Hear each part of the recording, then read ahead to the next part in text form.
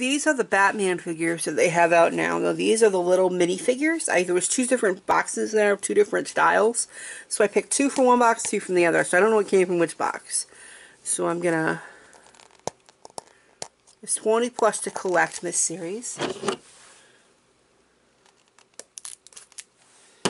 gonna get the tear strips started.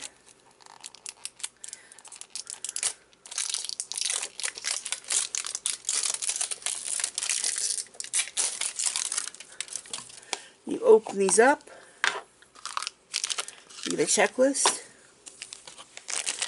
And a figure. So it looks like we got Batman of... What is he called? Batman? This is Batman. He's like Batman of Zual or something like that. And the thing with these are, the figures can stand on these boxes. So it's like a stand for them. It's pretty cool. So this one is the same figures. So we're going to see what we can get in these. Yeah, they all have the same. So the boxes just a different. One looks more new. The newer graphics. In the old box. And the other one looks kind of like it's been there for a while. It was kind of empty almost. The second box was full. I need a third box behind it too. And I just went with the first two and pulled out two figures out of each.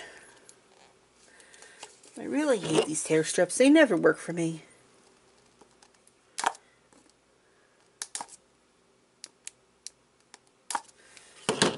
Get started. This sort of Batman toy without a Batman knife, right? These are made in the United Kingdom.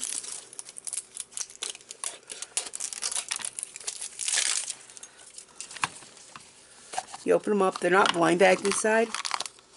We got Nightwing. So Nightwing's really cool too. I love Nightwing. He's one of my favorite characters.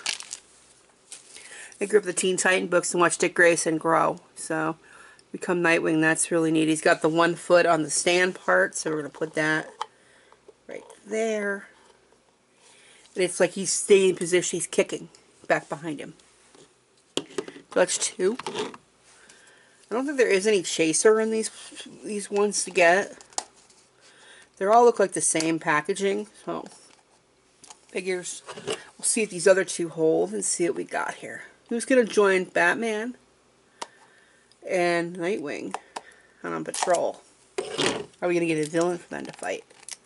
Nice to get the Joker. Be a cool villain again. I think there's Joker, Catwoman in this series, and maybe Grundy?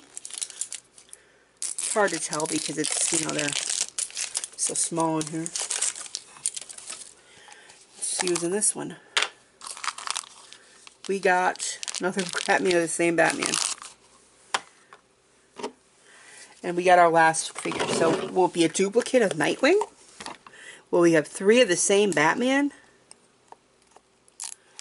always thought that'd be a really cool storyline if Batman had all his uh, proteges dressed up like him. And know, the padding and stuff inside the costume to make it so it was um, realistic looking. You know, and the voice change modular and everything.